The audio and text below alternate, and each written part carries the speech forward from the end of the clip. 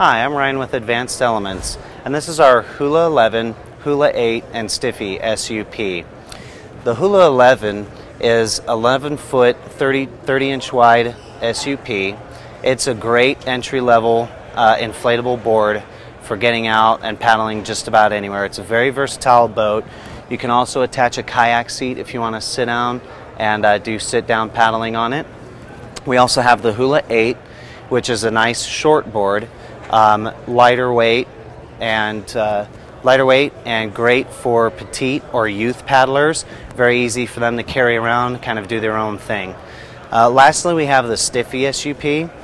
What's unique about this board is it incorporates aluminum rail shafts along the side of the board. They're sectional, packed down into the bag with the board. You simply put them together, slide them in, inflate, and you're ready to go. What's extremely unique about this is, is that you get really no flex in the board when you're out on the water. So you're getting an inflatable board that truly is rigid like a hard shell.